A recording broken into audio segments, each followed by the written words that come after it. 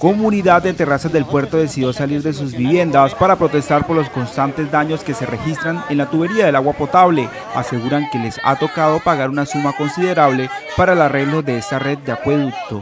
Las tuberías se rompen y nosotros nos toca pagar 500 mil pesos en los apartamentos para arreglar diario esas tuberías. ¿Dónde vamos a llegar? Nosotros le pagamos el servicio de agua potable a Aguas de Barranca. Nosotros no le pagamos a la constructora Bolívar.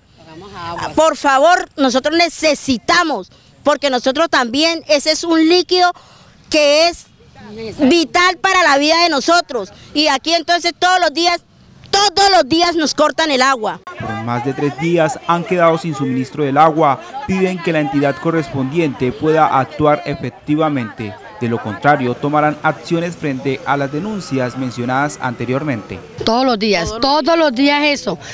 no hay agua y lo de la luz, hay, pero si nos cobran la, el alumbrado público, donde están las lámparas dañadas, todas están dañadas. Entonces me parece eso una falta de respeto, que, todo, que todos somos seres humanos y merecemos respeto. Se espera que la constructora y la empresa de aguas pueda brindar una respuesta oportuna frente al daño de estas tuberías que afectan a más de mil familias que residen en el terrazas del puerto.